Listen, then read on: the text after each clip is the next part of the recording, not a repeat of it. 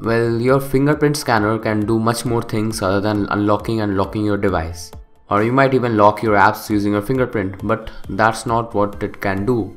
We can make the most of it, so let's get started. Now download this app called Fingerprint Gestures from the Google Play Store.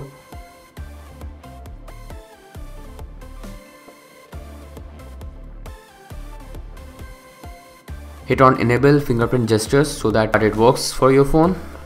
For example, for single tap actions, you can set it to anything like back, home, recent apps, power button menu or any other apps, play, pause, song. And I'll just select Google Chrome for example for the single tap one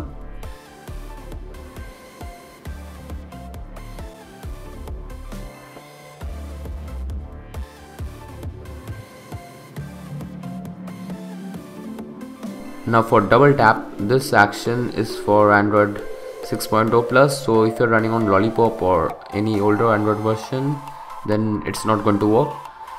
Now you can select anything which you want. Again i would have preferred using it for screenshot but my phone isn't rooted so i can't do that.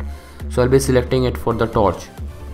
And for the swipe i can choose the power button menu or you can choose play song or pause song or whatever up to you you can also do this for registered fingerprints only, although it only works for the single tap.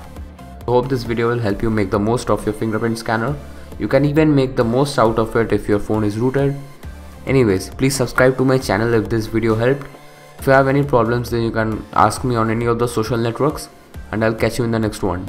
Till then, hasta la vista.